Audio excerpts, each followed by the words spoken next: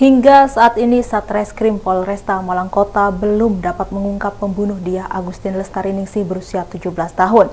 Seperti diketahui, korban yang merupakan mahasiswi perguruan tinggi negeri ditemukan meninggal di tempat tidur kamar kosnya yang terletak di Jalan Sumbersari, Gang 5C, Kecamatan Lewakwaru, Kota Malang pada Kamis 22 Desember 2022. Kasat Reskrim Polresta Malang Kota, Kompol Bayu Febrianto Prayoga mengungkapkan bahwa pihaknya masih terus melakukan penyelidikan dan pendalaman.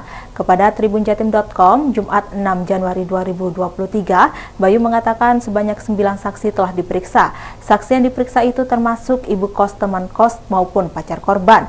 Bayu menjelaskan luka tusuk pada bagian dada menjadi penyebab kematian korban, karena luka tersebut menyebabkan korban kehabisan darah.